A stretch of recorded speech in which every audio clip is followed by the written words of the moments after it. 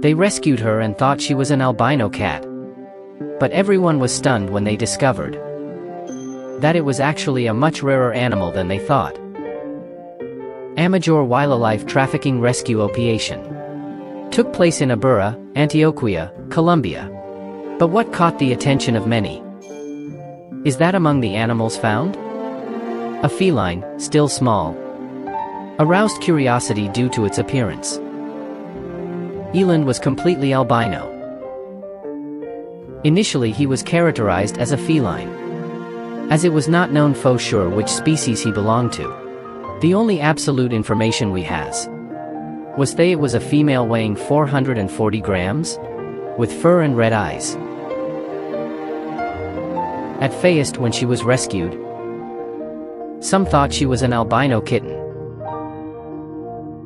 But when the team had contact with